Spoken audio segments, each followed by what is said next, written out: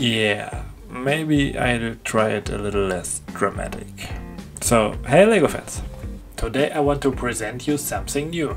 Six other LEGO fanatics from all over the world and me founded the BrickTubers network. We all have YouTube channels and want to share our LEGO love with you. This means there will be some collaboration between our channels in the near future. So if you haven't done it yet, please check out and subscribe to the other awesome channels. These are Dr. McBrick, GJ Bricks, Blockhead UK, Brick Bakery, Brick After Brick Toys and Small Brick City.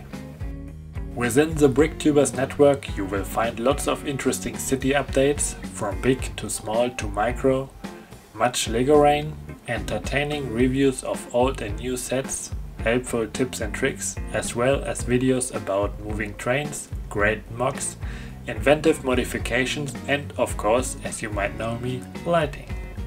So make sure you check all these channels out. It will definitely be worth it. On Saturday the 20th of April at 3 pm Central Europe time we will start with a live stream on GJ Bricks channel. If you can, please stop by. So that's it for now. You will find the links to the channels in the description below. Thanks for watching.